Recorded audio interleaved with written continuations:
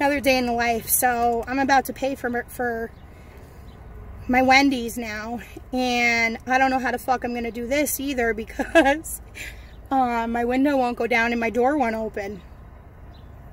So I'm thinking like what I'll probably do is like pull up a little bit and then climb over and jump out and then like go around my car to pay for it. I just hope no one gets scared because like people just got like almost beat up here yesterday. So this is what I'm gonna do. I'm gonna do this. I'm gonna fucking climb out real quick. Real quick. I know it's ghetto. I know.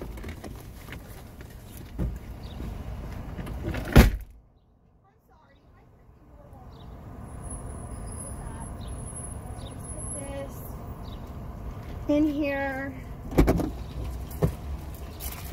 Okay, what a nice guy. People are looking at me weird.